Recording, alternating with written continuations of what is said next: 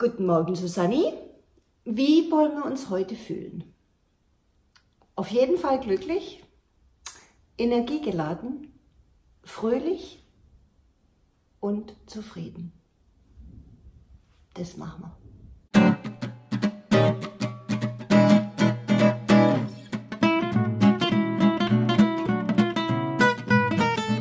Hallo und herzlich willkommen zurück in meiner Küche. Heute zeige ich euch ein Ingwer, Zitronen, Kurkuma-Wasser. Und zwar, das trinke ich, manchmal habe ich so Phasen, da trinke ich das jeden Tag und dann mache ich wieder irgendwie Pause und dann, heute ist mir es eingefallen im Wald, Mensch, das könntest du doch mal wieder trinken. Und äh, das zeige ich euch jetzt, wie das geht. Und zwar, ihr braucht dazu einen kleinen Mixer. Ähm, rein eine Zitrone, natürlich nicht ganz, sondern ich schäle sie und mache die ganze Zitrone rein. Man könnte jetzt auch die Zitrone halbieren und mit der Presse reindrücken, aber ich lasse das hinterher sowieso durch ein Sieb und dann habe ich quasi die ganze Zitrone äh, da drin und hole quasi noch mehr raus aus der Frucht. Dann mache ich rein eine Kurkuma-Wurzel und zwar die schäle ich nicht mal, wobei die ist jetzt ein bisschen groß, die halbiere ich jetzt noch.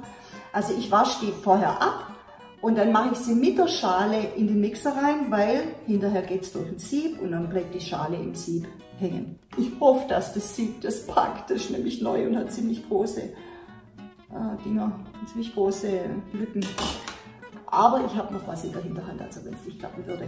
Gut, dann kommt rein ein Stück Ingwer. Den schäle ich, weil die Schale vom Ingwer, die ist für meinen Mixer fast zu groß oder zu grob. Also den schäle ich irgendwie. Und vor allem das Kurkuma schäle ich auch deshalb nicht, weil man kriegt so saudumme orangefarbene Finger davon.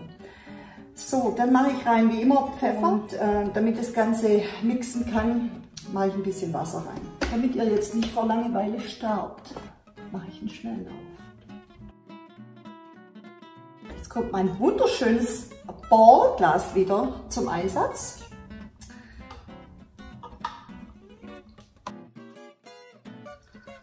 Und das Sieb ist ein Scheiß, das merke ich jetzt schon.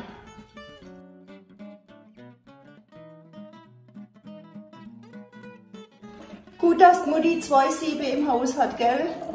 Und jetzt seht ihr, was das für eine richtig klasse, schöne Farbe hat. Und Geschmackstest ist einfach super. Was ihr jetzt noch machen könntet, ist äh, das Ganze ein bisschen süßen mit Honig oder mit Agavensirup oder mit sonstigem Sirup. Zucker nimmt er nicht, gell? Also äh, weißer Zucker, das ist verboten bei mir.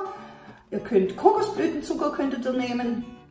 Das hat keine große Einwirkung auf euren Insulinspiegel. Ähm, ja, und das trinke ich jetzt also die nächsten paar Minuten und dann geht's ins Büro.